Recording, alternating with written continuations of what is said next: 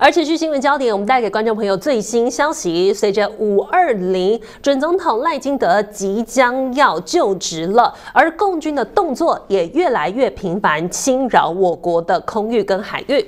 首先呢，我们来自国防部的晚间最新消息，从下午五点开始，侦获了中共的苏凯三十、运八以及多架次的无人机，累积二十三架次出海活动，而当中呢，有十五架次其实已经逾越了中线还有延伸线。进入台湾北部。中部还有西南空域，他们要配合共建执行联合的战备警巡，而国军呢也运用了联合的勤监侦的系统全程掌握，同时呢也指派了任务基建还有暗制飞弹系统随时应变。而随着政府即将换届，可以看得出来，对岸可以说是动作频频。而现在呢，其实准赖内阁赖政府的名单陆续出炉了，而攸关。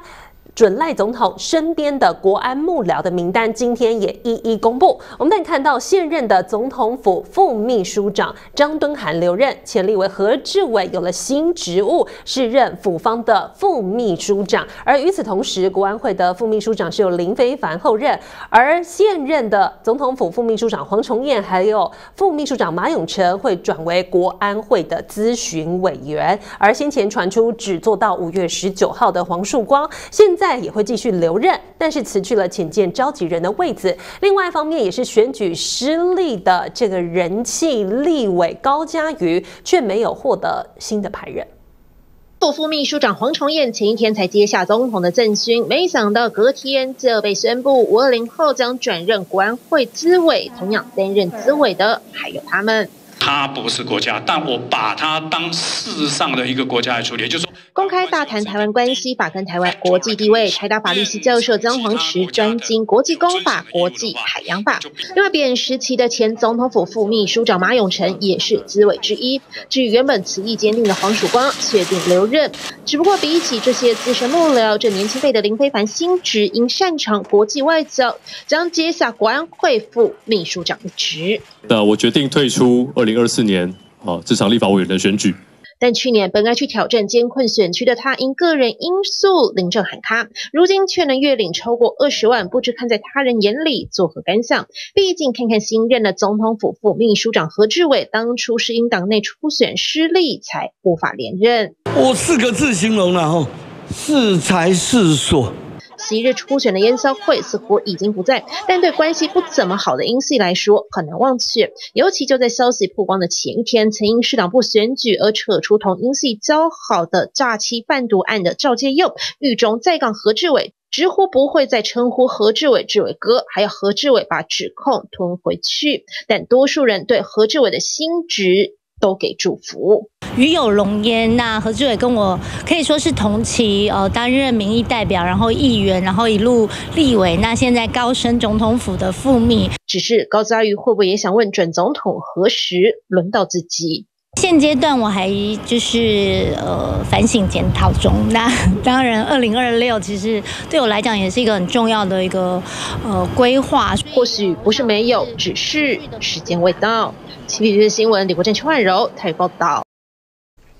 而持续来看到的是，近期呢，共军可以说是频频侵扰我国的海域以及防空识别区，但同时，美台之间的军事交流是否也在台面下默默的紧密接近，并且？紧锣密鼓的正在进行当中。我们带您看到呢，路透社的独家消息说，有四名的知情人士透露，其实，在四月份的时候，美台双方早就已经进行了秘密的联合军演了。而根据了解，地点就是在西太平洋地区进行联合军演，但是整个军演的消息是没有公开的。而双方大约有六艘的海军潜舰，包括了护卫舰、补给舰、支援舰，而当中这一些演练目标呢，就是美台。双方的潜舰、舰艇进行通讯、加油还有补给相关的作业，而这项讯息呢，到底是否属实呢？根据国防部回复给路透社的声明当中指出，哦，似乎话有玄机。我们就带您看到，国防部表示，他们是配合美方来推动，如果呢是在海上不预期的相遇行动的准则，因为海军经常性的会跟他国的潜舰通联，并会按照实际的情。情况对于操演。而这段声明呢，其实也被知情人士表示，在海上行事。低调行事，所以这次军演呢，定调为是美台之间的潜舰还有军舰，我们刚好在某一个海域巧遇到了，共同进行通讯、加油、补给诸多的演训。那么消息人士就以去吃饭来比喻，就像是去餐厅吃饭时碰到朋友，那么大家并桌吃饭，如此之自然。但是除了消息人士对外媒来透露讯息之外，同时我们可以从人事的活动也有看出。端倪来看到的就是海军司令唐华四月份也赴美参加海空暨太空的研讨会，而这个台美的军事交流是否也在升温呢？因为根据唐司令的说法，在这场交流会当中呢，都会碰到世界各国的这些国防领域的精英。那么台湾方面呢，也会进一步希望能够跟大家进行合作交流，各事项的探讨，似乎也语带玄机。而同时，其实台湾的地理位置对于美国来说是相当重要。主要原因就是我们是在太平洋的第一岛链，而在台湾的南方的菲律宾也是美国重要的盟友。近期呢，其实美菲的肩并肩军演才刚刚结束，大陆就公布了黄岩岛的联合演训画面。而这样的画面是否也是中国大陆希望能够在南海地区秀肌肉，给美菲来制造造压力呢？根据了解，他们派出号称舰艇持刀护卫的延安号驱逐舰就在南海活动。而菲律宾近期也不开心，因为他们认为大陆解放军正在南韩许多地方呢进行毁坏珊瑚礁，来填岛造陆。大陆号称航舰持刀护卫的零五五型驱逐舰延安号进行实弹演练，大陆声称地点就在近日与菲律宾发生多次冲突的南海海域。近几年来，我们走向了更深更远的海域。在远航期间，我们做了大量针对性的实战化训练。航模动态，这里是中国海警，发现有人落水。大陆海警近日也公布，在南海演习过程，模拟黄岩岛附近海域渔船发生危险时，能第一时间展开救援行动。美菲联合军演后，陆方持续在南海出招。十三号，大陆央视第一次发布黄岩岛空拍画面，配文写道：“独家近看中国黄岩岛的壮丽风光。”画面还能看到大陆海警船和四艘大陆渔船。同一天，菲律宾海岸防卫队官员则公布画面，指控大陆在距离巴拉望省只有七十一海里的南海仙明礁，到了大量的死珊瑚和碎珊瑚填海造岛。菲律宾计划部署大型海巡舰监控。菲方对中方的指责毫无根据，纯属造谣。仙明礁是菲律宾海军和海岸防卫队到仁爱暗杀补给的汇合点。一旦陆方真的填海造陆，打造成海军基地，将会影响菲律宾武装部队进行补给任务。菲律宾海岸防卫队发言人表示，已经和专家合作，搜集记录大陆海警和海上民兵活动，未来不排除采取法律和外交行动。TVBS 新闻叶俊宏、李敏珍综合报道。再来持续带观众朋友来关注到的就是中东局势了。以哈的冲突战火未歇，而现在拉法会不会成为全面爆发战争的地点呢？我们带你看到，虽然美国呢不断把丑话说在前头，如果纳坦雅胡挥军拉法地区呢？就会停止提供相关的军援。可是现在呢，似乎都已经箭在弦上了。因为美国的高官跟 CNN 透露说，其实现在呢，在以色列的部队他们都已经做好万全的准备，只差一声令下就可以进攻拉法关口地区了。而根据了解，其实大家看到这个地图，加萨走廊的南端拉法市呢，其实就是跟埃及交界的地方。这里其实有非常非常多的冲突当中的难民。集结在此，那么也急需人道的救援。但是呢，以色列方面就怀疑有非常多哈马斯的分子也混入在难民当中了。而美国的官员呢，担心冲突会再度升级，而且也违反了人道，所以呢，他们现在也在紧急观测。他们也没有办法确定以色列到底会不会直接攻打拉法。但是呢，其实他们的国务卿布林肯也在接受媒体访问的时候表示，以军攻打这一波。巴勒斯坦的行动虽名为报复，但已经杀害了三点四万人，死伤相当惨重，而且以军杀的平民比哈马斯还要来得多，而且进攻拉法也没有办法完完全全的剿灭哈马斯。由于现在呢，其实美国方面跟以色列方面对于如何终结这场战争。有了分歧，最主要的原因就是因为以色列方面认为他们要全面胜利，要把哈马斯所有的成员歼灭殆尽，并且呢要打到他们一兵一卒通通都不剩。可是美国却认为，其实有很多的政治协商的方法，不一定要打打杀杀才能解决这样的争端，也因此双方已经出现了分歧了。而现在呢，在拉法市这个地区又出现了一个新的亡魂，而让人难过的是，这其实是联合国的车。辆在拉法遇袭，而根据了解，是一名印度裔的公民，他是受雇于联合国安全跟安保部门，是属于通讯职位的工作人员。而在这场冲突当中呢，他遇袭，结果导致伤重不治，而同车还有另外一名员工呢，也一样来受伤了。而现在呢，其实美国方面也很担心这场风波会持续的来扩大，同时呢，他们支持以色列的力道也已经表达了立场，如果以色列的国防军打进了拉法，那么就没有军援。但现在当地的情势依旧紧张。以色列聚焦拉法的同时，也同步在加萨北部作战。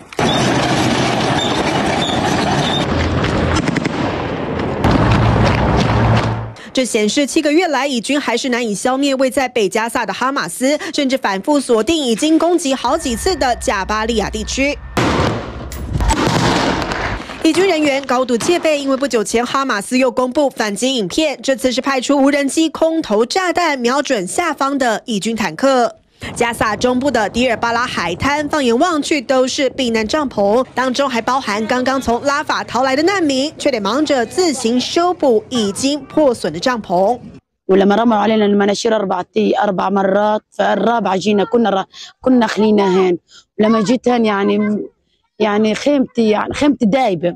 在以军接连对拉法东部和中部下达撤离令后，当地街道瞬间净空。截至目前，又有超过三十万人踏上逃难之路。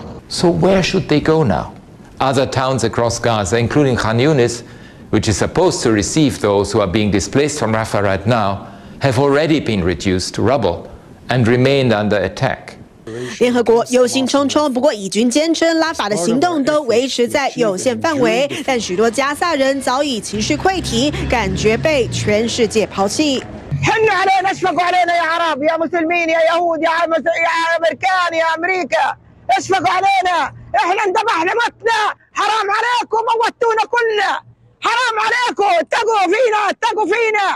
以色列态度坚定，甚至连美国的话都不想听。美国国务卿布林肯更把丑话说前头，认为以色列就算攻下拉法，也难以消灭哈马斯。If they if they leave and get out of Gaza, as we believe they need to do, uh, then you're going to have a vacuum, and a vacuum that's likely to be filled by chaos, by anarchy, and ultimately by Hamas again. 他认为进攻拉法后会出现权力真空，给哈马斯重新崛起的机会。不过西方国家还在拿捏立场，像是英国就不打算跟进美国停运武器。Announced that today it might help me get through this television interview, but actually it would strengthen Hamas, it would weaken Israel. 英国外交大臣卡麦隆认为这等于给哈马斯机会，但他也重申不支持以色列进攻拉法，跟美国一样不希望以色列拿英国的武器用在攻击。拉法的老百姓。给新闻综合报道。而除了关心中东战火之外，俄乌战争还在进行当中。而现在传出呢，俄军他们展开积极的攻势，针对了跟他们靠近接壤地区的哈尔科夫零星的城镇发起了猛攻。而在过去周末两天当中呢，在当地攻下了九座的村落，而且他们号称步步逼近哈尔科夫了，因为他们现在已经进入了周遭的沃尔陈斯克，距离哈尔科夫大约是七十公里左右。而这消息一出呢，有很多的乌克兰平民呢，其实非常的惊慌，逃到了城郊地区，希望能够躲避战火。而明明呢，在二零二二年的时候。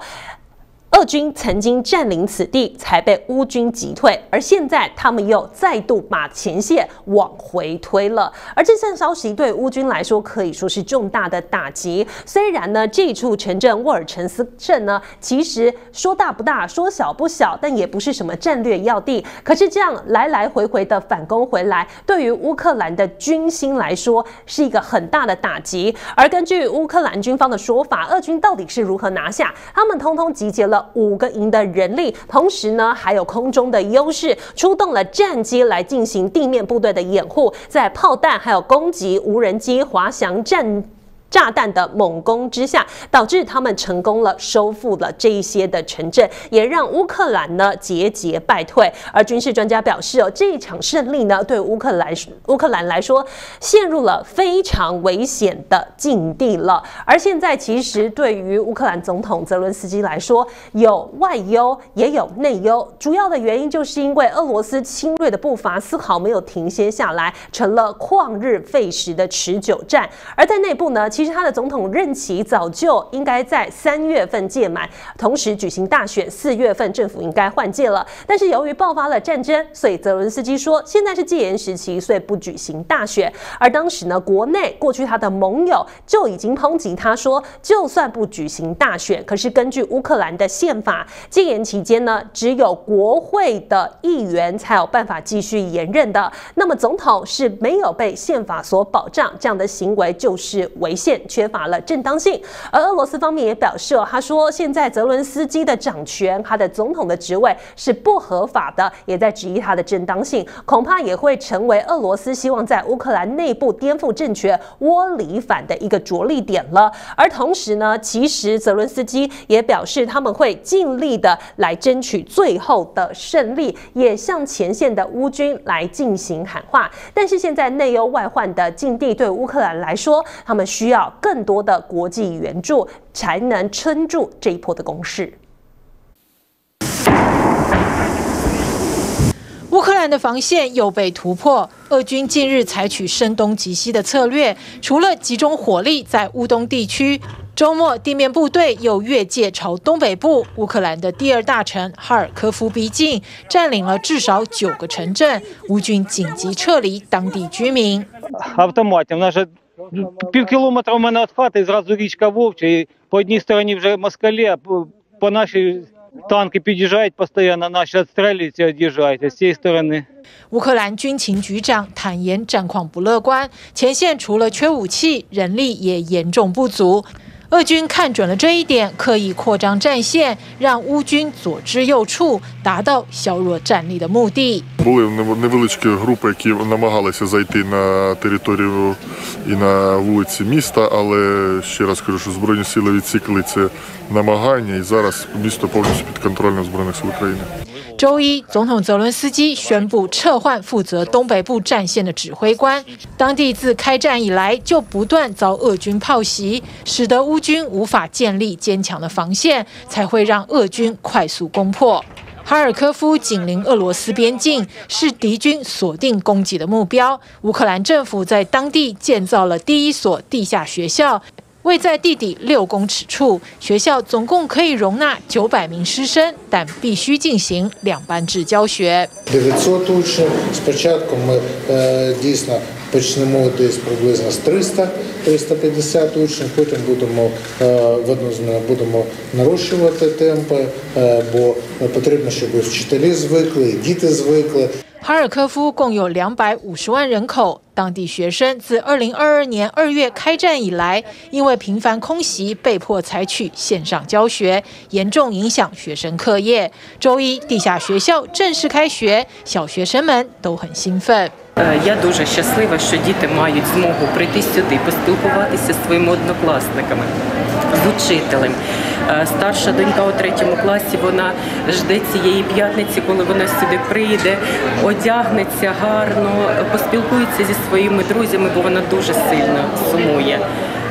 Син у першому класі також для нього це як свято. Він хоче познайомитися зі своїми однокласниками не онлайн, а вживу погратися з ними. 哈尔科夫市长表示，未来将在增加三所地下学校。乌克兰重建需要庞大的经费，除了靠国际社会援助，民间募款活动也发挥很大的贡献。一名曾在乌克兰担任自由撰稿记者四年的加拿大籍男子伯里斯，在俄乌战争爆发后，想要替当地的孩童募款，于是自己创作了圣母像贴纸义卖。不过，他的圣母手里拿着的却是美制 FGN 一四八标枪飞弹发射器，象征乌克兰抵抗俄罗斯的决心。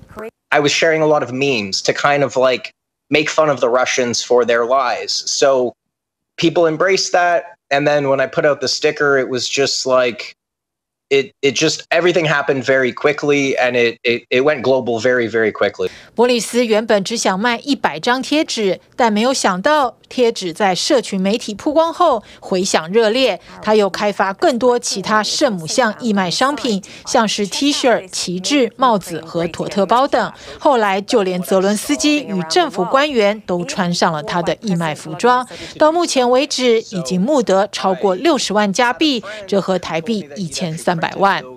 美国国会通过乌克兰六百亿军援，国务卿布林肯周二访问基辅。表达美国对乌克兰的支持，不过他也坦言，美国延迟军援让乌克兰付出很大的代价。TVBS 新闻综合报道。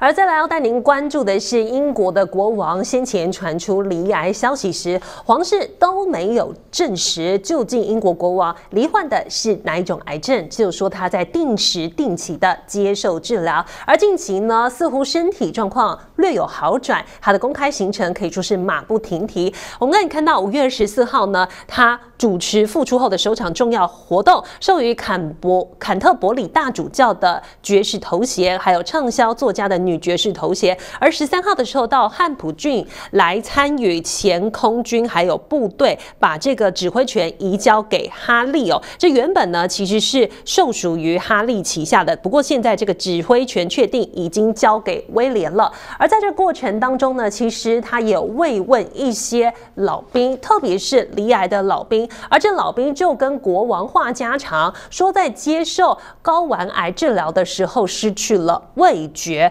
而查尔斯三世心有戚戚焉，他说他自己也有同样的治疗后遗症，而外界就好奇，那么这两者之间是否有许多的关联性呢？因为过去呢，王室只有透露，其实国王是在接受射护腺肥大治疗的时候，同时发现罹患了癌症，接受定期治疗，但是到底是什么癌？都没有正面回应过。而根据了解，其实有很多癌症呢都会有相关的后遗症，像是放射还有化学等癌症治疗会有药物残留在唾液里头，所以都会影响到味蕾的细胞，或者导致唾液量变少，会影响到味觉。所以现在呢，这个跟老兵话家常的内容，也让外界对于国王到底罹患了什么样的癌症，更是掀起了很大的兴趣，并且也引起了一种联想性的猜想了。而继续带观众朋友来关注到太平洋另太大西洋另外一端的美国了。现在呢？准备希望能够争取共和党提名参选的川普可以说是官司缠身，主要的原因呢就是这个艳星暴风女出面指控，当初呢她收了川普的封口费，不会公开两个人私底下的关系，而今天出现了重量级的证人了，这名证人呢是一名律师科恩，他过去就是川普的私人律师，而据说呢当初跟暴风女私底下进行的封口。协议协商就是科恩来帮助川普居中穿针引线来执行的，而今天科恩也在庭上拿出了一项关键的证据，而这个录音当中呢，就有对话提到川普交代他要付出十五万美金的封口费，而川普在庭后也表示说这科恩呐早不告晚不告，现在呢他要来竞选再度竞选美国总统的时候，却出面来控告他，他说这一切都是政治的操作。美国前总统川普封口费案进入重头戏，法院传唤关键证人川普前私人律师科恩出庭作证。I mean, you know, my the nickname is like Pitbull. Yeah, once I get my hands around your neck, you're finished. 这位曾被川普比喻成比特犬的得力助手，除了坦白帮川普做事就得说谎和霸凌，他还当庭播送了一段关键音档。I need to open up a company for the transfer of all of that info regarding our friend David. So what are we going to Funding, uh, yes.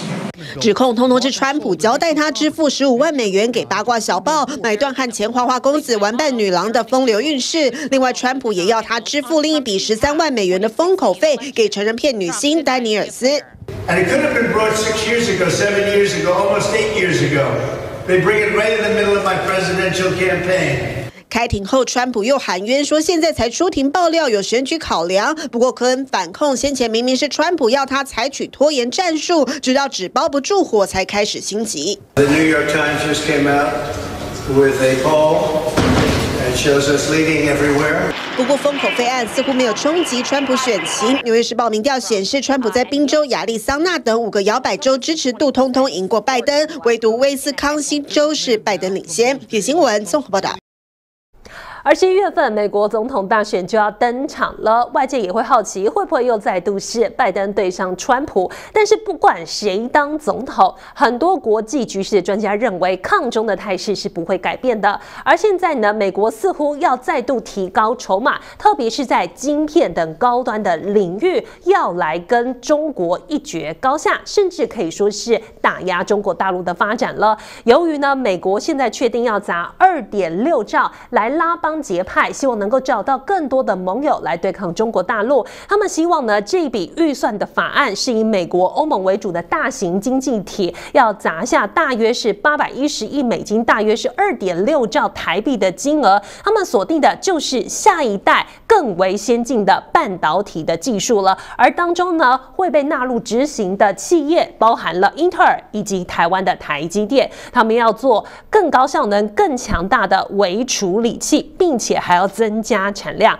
而根据彭博社的这份报道呢，其实美国的主力都要压注在现在的下一代的半导体还有尖端科技方面，因为他们认为美中竞争的关键转折点就是科技力了，同时也会塑造全球经济的未来。而现在呢，其实有许多人认为，未来科技力可能就会直接对标到一个国家的国力，所以晶片成为了一种战略的物资，几乎。已经是各国政要心目当中的显学了，而同时呢，这个法案也显现了美国是以破釜沉舟的决心，跟中国要来进行科技的竞争。而刚刚我们提到的半导体晶片领域，就是重中之重了。同时，这个。金额的投入最大的目标呢，就是来制衡中国，并且缩小跟台湾还有南韩之间半导体生产的差距了。所以足以显见呢，其实在过去整体呢，其实世界贸易发达之下，美国还有其他的欧美国家，他们会把制造的产业分拆到东亚圈来追求更低的人力成本、更低的制造成本。可是随着美中竞争态势之下，现在这样的全球供应链。早就开始进行重组了，而且在未来的时间里都还会是现在进行式的。而同时，我们要带您看到的是，美国华尔街今天再度遭遇到了暴击。不过，这样的剧情似乎似曾相识，因为三年之前呢，这个 X 平台的账号咆哮小猫曾经狙击过资本，因为呢，当初 GameStop 就被很多资本呢来进行做空。那么，熟悉电玩市场的观众朋友可能比较理解 Game。Stop，它是什么样的股票？它就是类似卖一些游戏光碟片起家，所以是很多电玩迷心中的情怀。但是现在早就都在玩手游或线上游戏了，或者是说从这个云端下载这些游戏来玩，所以呢，导致当初 GameStop 是被很多资本看衰的。但是呢，这个咆哮小猫的账户所有人这名 KOL 就觉得电玩电玩魂不能亡，因此当初呢，在资本做空这只股票的。的时候，他发起了狙击，要求散户一人一张股，坚决不卖，结果把股价拱到一个奇高的境界，狙击了做空的这些资本家。而最近呢，周一他又放出了迷因图，让散户再度出动，再度去买了 GameStop 的股票，让它盘中呢飙涨到了百分之一百一十，让放空的避险公司再度血本无归。户投资人关注的咆哮小猫又在社群平台发一张迷因图，暌违三年再度上演股市小虾米对抗大金鱼。Gill's post on Sunday was a sketch of a man leaning forward in a chair, a popular meme among gamers that indicates things are getting serious. 咆哮小猫用这张图暗示要开始认真玩游戏，不少股民解读是下达疯狂买进潮的动员令。当地周一瞬间炒高 GameStop 股价。Shares hit a one-year high on Monday and were halted multiple times for volatility. GameStop 股价交易过程一度暴涨超过百分之一百一，收盘时也涨了百分之七十四，惊人涨势导致当天放空者亏损将近十亿美元。事实上，GameStop 第四季营收惨淡，三月份还裁员，根本没有上涨动能。It's driving other meme stocks as well. AMC, which is not even profitable, GameStop at least made money. This last quarter，咆哮小猫二零二一年当时带领小虾米做空 GameStop 股票，刻意杠上避险基金 Melvin Capital 这只大金鱼，导致这家公司出现巨额损失。Amateur investors are really necessary for the health of the market. The influence is the issue. 由于这些散户只是盲目追求，专家也密切关注这股风潮是不是会重演当年为市场交易带来的乱象。TVB 新闻做报道。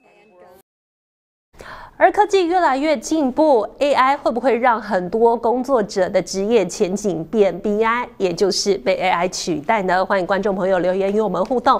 因为现在就连 INF 的官员都会觉得 AI 的浪潮席卷全球，而且在未来很短的时间之内，恐怕很多职缺都会被取代了。我们要带你看到，这就是 INF 的总裁乔治艾娃，他说，人工智慧会像海啸冲击劳动市场，未来两年会影响。先进经济体六成，还有全球四成的工作了。而且让人忧心的是，二零二四年呢，其实微软也发现了这样的工作趋势，百分之四十五的专业人士担心呢自己的专业被 AI 取代。同时，企业领导者也很担心未来缺人到底要由谁来补位。还有企业领导者未来的用人倾向，有七成一认为经验少没关系，但你会 AI 就 OK 了。同时呢。也有研究的机构的执行长表示，AI 不一定会取代你的工作，但是前提是你必须要掌握大型语言的这个 AI 学习的指令技巧，也意味着你要会跟 AI 沟通，你会写 prompt，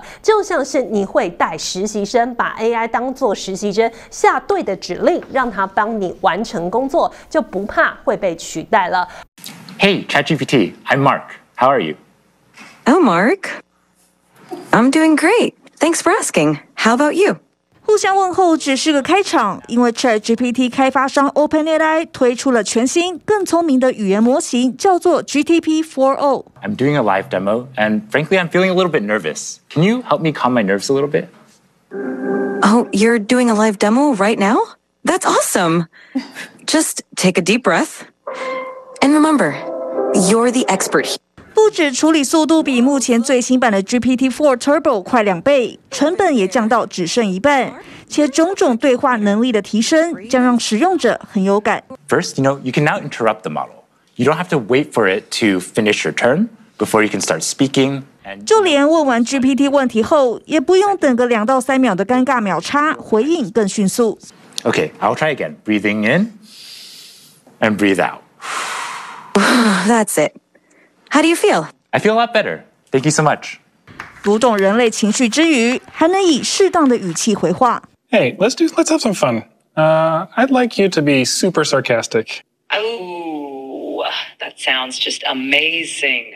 Being sarcastic all the time isn't exhausting or anything. I'm so excited for this. 从反应的速度到内容，种种能力远胜过 Siri，并且从最基本的文字、声音到影像画面全部包办。Is the king in residence at the moment? Yes, it looks like the king is in residence right now. The royal standard flag is flying above Buckingham Palace, which is the signal that the monarch is present. 除此之外，GPT-4o 还有记忆的功能，能够从和用户之前的对话学习，并且内建了即时翻译，以及多了强大的推理能力，可以计算数学题、分析图表等等。Okay, ChatGPT, I'm sharing with you the plot now. I'm wondering if you can give me a really brief one-sentence overview of what you see. The plot displays smoothed average, minimum, and maximum temperatures throughout 2018. OpenAI 强调，GPT-4o 与前几代的模型的最大差异就是可用性大大提升，堪比强大的 AI 助理。Well, hello, Bowser. Aren't you just the most adorable little thing? Yeah. Look at you enjoy. This is one of his favorite things to do. 而这个能像朋友般对话的全新版本开放所有人使用，包括没有付费的用户。与此同时，iPhone 制造商苹果宣布要导入 ChatGPT 的计划，也传出进入协商谈判的尾声，带动周一苹果股价爬升约百分之二。Hey, Chad, are you there? Hey, yeah, I'm here. What's up? 生成式 AI 商机扩大，让非市场中的主要玩家也受惠。周一，日本软银集团公布最新第四季净利润超过二十一亿美元，对比去年同期还在亏损，让股东看好 AI 热潮延烧。更别说重金压住 AI 的科技大厂微软继续布局全球。Microsoft's largest investment in France in our 41 year history. It is truly an important day. 微软总裁史密斯当着法国总统马克宏的面，宣布要斥资四十亿欧元，在法国发展 AI、新建资料中心和云端基础设施。We're going to bring to France 25,000 of the world's most advanced GPUs. 两人共同在巴黎的微软总部做了这项宣布。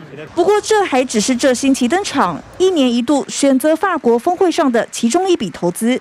We have good results for France. 今年的选择法国峰会已经替法国争取到一百五十亿欧元的投资承诺，刷新史上外资投资纪录。TVB 新闻综合报道。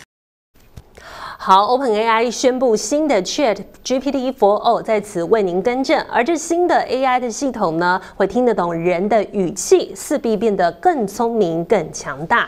而继续，我们带观众朋友持续来关注国内的焦点，其实不只是国内，还有国外都遭遇到极端气候的侵袭，全球各地都有剧烈的气候，而出现这副惨样的其实是美国南部密苏里州，密苏里州饱受了龙卷风侵袭，还有印度。孟买呢也出现了暴风雨，有巨大的广告看板就被强风吹拂之下不知倒地，直接压在正在躲雨的民众，而这个意外也导致十四人死亡，七十人受伤。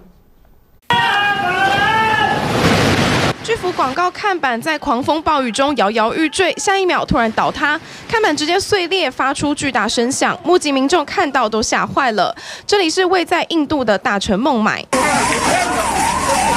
救援人员从看板下把受困民众一一抢救出来，并用机器切割铁架。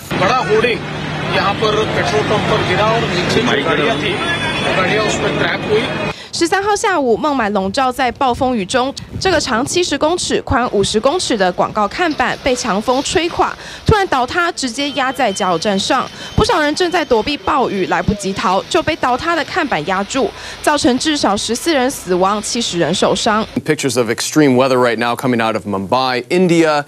Uh, we've got our current ongoing flooding throughout Afghanistan. 位于南半球的巴西南大河州洪水也还没退。The month of May, they have seen three times at least their monthly average. 美国也出现极端天气。 This is wild. 密苏里州的一个高尔夫球场再度遭到龙卷风侵袭，目击球员拍下龙卷风来袭的影片，还不忘对镜头打招呼。The southern U.S., that's where the greatest threat for severe storms is going to be, essentially from southern Texas all the way over towards Florida and really right there along the Gulf Coast. 美国南部出现强烈风暴，气象专家警告，除了休斯顿和纽奥良要小心雷雨，佛州也要严防龙卷风发生。TVB 新闻综合报道。泰国发生了骇人听闻的命案，一名三十岁的南韩籍男子被人杀害之后，水泥封尸丢进了水库。目前，泰国跟南韩警方怀疑跟毒品有关。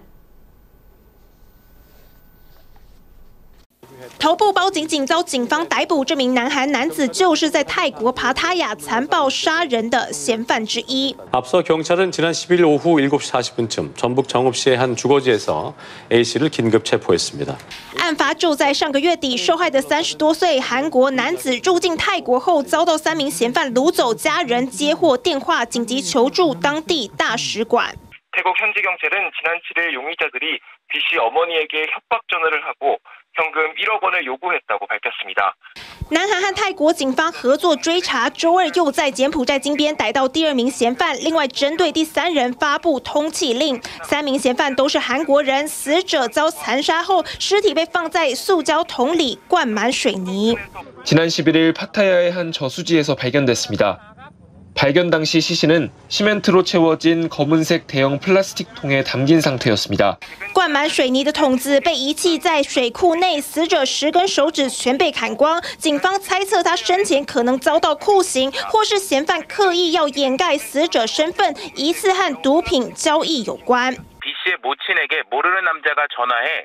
B 씨가 마약을 버려 자신들에게 손해를 입혔으니 据传嫌犯先开轿车，再换租皮卡车，将人掳到弃尸的水库附近。当地有目击者表示，案发前曾看过被害者。 경찰 당국이 수사팀을 구성해 B 씨의 행방을 추적한 결과 지난 2일 방콕 후아이쾅 지역에 있는 한 클럽에서 그를 마지막으로 봤다는 목격자가 나왔고 不过，落网的两名嫌犯全否认涉案，究竟为何会痛下杀手，真实动机还有待进一步厘清。TVB 新闻做不到。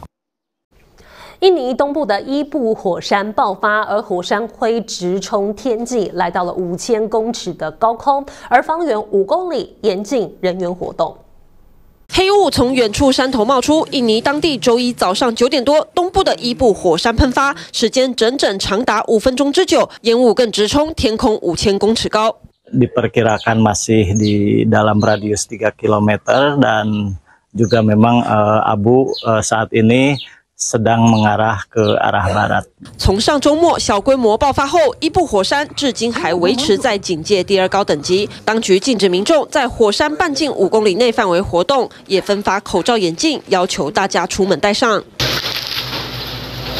而在西部的苏门答腊省，则持续和暴雨导致的土石流灾情奋斗。Saat ini kita membagi dua tim, satu tim penyisiran darat sampai radius 1 kilo sampai 2 kilo ke belakang dan satu lagi tim di tempat posisi-posisi yang dekat bahan material ataupun pepohonan. Tempat di belakang saya kita dibantu dengan alat berat. 上周末大雨导致山洪爆发，引发土石流，火山灰和岩石都冲刷下来，将近两百栋房屋受损，重要干道被冲断，搜救黄金时间也只剩四十八小时，将近三千四百人无家可归。Saat ini air bersih. Air bersih. Air bersih. Selain air bersih apa lagi, Pak? Selain air bersih, oh pakaian. 救援物资目前依靠直升机和陆路运送，居民也团结自救，筹措物资分发给需要的灾民。TVBS 新闻综合报道。大陆的电动车品牌理想的旗舰车款一辆要价两百万，但是辅助系统却不灵光，把广告看板的车当了真车，紧急刹停，导致后车追撞。行车记录器画面显示，原本高速行驶在高速公路的车辆，就在前方出现有车图像的广告牌后，突然急刹降速，最后整个停止，导致后车追撞。当下被撞的轿车气囊弹出，车尾凹陷掉漆，车主脸部、手部都受伤。分析的结论是这个视觉误解前方广告牌上的嘎车，导致四车异常减速。因为咱们辅助驾驶的话，确实是有一些局限性。把广告的图片辨识成真车，所以紧急刹车导致车祸，让湖北米车主傻眼。因为车才刚买，而且这车还是大陆国产修理车当中高价位的理想 L9 Pro，一辆售价四十万人民币，约合台币两百万。被警方认定要负事故全责后，女车主要求理想赔偿两万人民币，但理想即便承认错误，也只愿意赔四千，双方没达成共识。这起事故引发议论后，路媒也报道，理想汽车辨识失准已经不是第一次。四川一辆理想 L7 在行驶过程中，将广告牌上苏炳添准备起跑的图片识别成真人，启动紧急制动，造成后车追尾。大陆电动车发展品质国际关注外，美国总统拜登将对大陆电动车的关税税率从百分之二十五增加到百分之百，白宫也做出最新说明。 It's no secret that the president, this entire administration, has been concerned about unfair practices by the PRC that harm American workers and businesses, the issue of overcapacity, um, the ways in which China has um, put in place a series of non market distorting practices in strategic sectors. 白宫国安顾问苏利文表示，拜登政府一直以来关切大陆产能过剩以及不公平贸易的行为，但对于调升关税还没有对外公布更多细节。TVBS 新闻业俊宏、李明珍综合报道。而五月份也是报税季，提醒您在报税季日之前，记得要诚实报税、诚实缴税。但是对于很多上有老下有小的上班族来说，负担真的相当大。很多人开始缩衣节食来消费降级，度过艰难的五月。像平常我就是呃一个礼拜差不多就是抓一千块这样子，那就是也减少开支啊。眼不见为净，大招放出来，少带钱，少欲望，省开销啦。要外送或是就是自己去买，大概一餐至少都差不多两百左右嘛。那你在家里煮的话，其实你整个下来一一个一个礼拜就差不多应该可以省差不多一千一千到两千左右。钱先生是三十岁单身族，这个月缴税就要多花三到五千。尽管压力不算太重，但毕竟还是比开销，只好少吃外食，花费就能从一餐花约两百改成自己煮一天两百。每年缴税其实。蛮痛苦的，平常就已经还有房贷啊或者什么的钱要缴，那每个每年一次就就想办法撑过去。还有这一位是三宝妈张小姐和先生都是上班族，碰上缴税季，尽管有扣除额，但税还是得缴薪水的三分之一，再加上小孩保险缴费也在五月，因此开销比平常多一倍。通常这一两个月我们就会改成露营的方式，外线是住宿，因为我们家一家五口，那个。就是要加床啊，什么费用一个月就至少是五千起跳。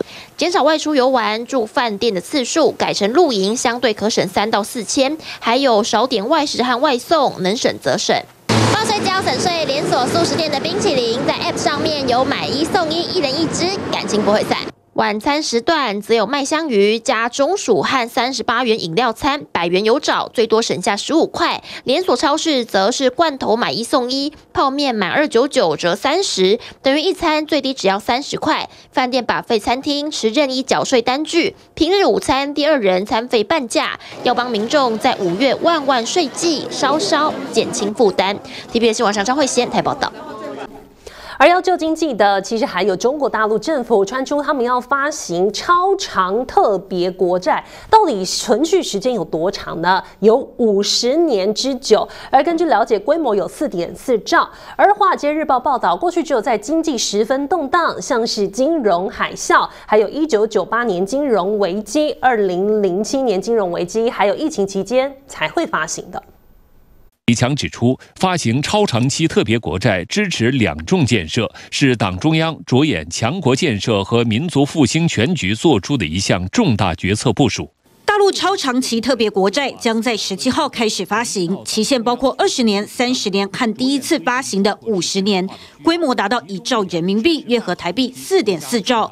这些钱将用于大陆国家重大战略实施和重点领域安全能力建设，高水平的科技自立自强。那么还有呢，我们的城乡融合发展，那么区域的协调发展，还有保障呢我们的这个粮食和能源安全。《华尔街日报》报道，大陆过往发行过三次特别国债，都是在经济动荡期，分别是一九九八年亚洲金融危机、二零零七年全球金融危机以及二零二零年新冠疫情爆发期。因此，第四次发国债，外媒普遍评论是因为大陆经济持续疲弱。我们预计呢，随着超长期特别国债的发行，财政支出节奏将不断提速，进一步拉动总需求。为了提振经济，大陆官方持续加大力道推动房市以旧换新政策。中介机构也将优先推动换房人的旧房交易，并为换房人提供换房过渡期租房优惠服务。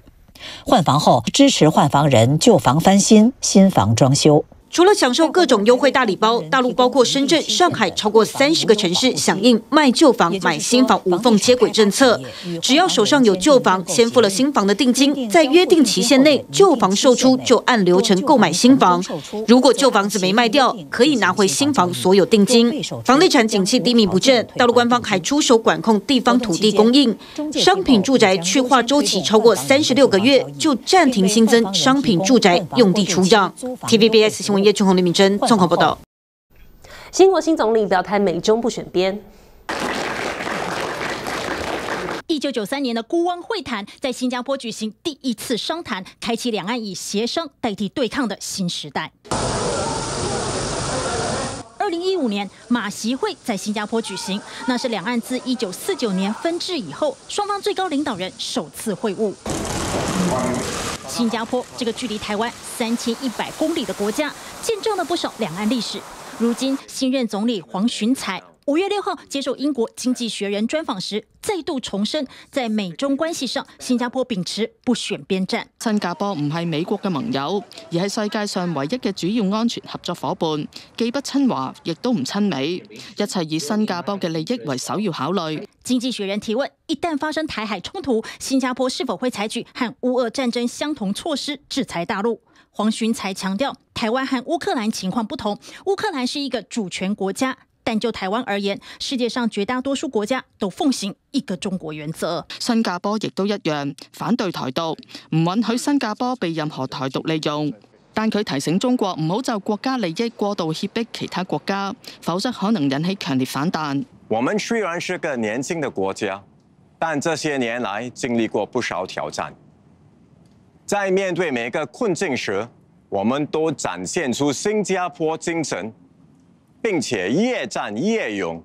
黄寻才从小讲英语和马来语，他近年勤学中文，以便用流利的中文在论坛展开交流。因为他明白，在美中极端竞争的国际环境下，新加坡要在两大强权间找到生存海南发达的缝隙，需要无比的智慧。新北市長侯友谊是少數和黃循才近距離接觸，就兩岸問題交換意見的台灣官員。他對這位新任的新國總理印象深刻。